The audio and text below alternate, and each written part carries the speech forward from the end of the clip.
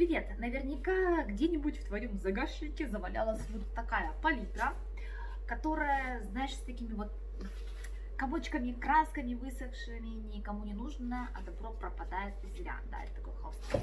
Вот еще одна. А, как ее можно реанимировать и оживить?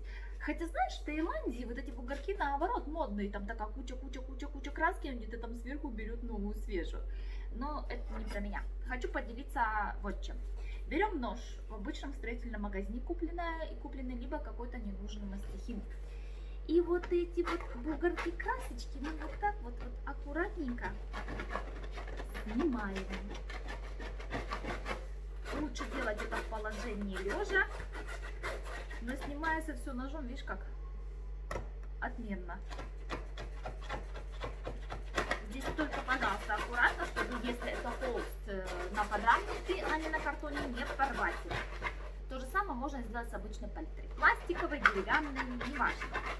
Так вот можно даже посмотреть, да, меня все устраивает. Пойдет. Затем возьму ветошь ненужную, white spirit, либо какой-нибудь скипидар нехудожественный, чтобы не жалко было.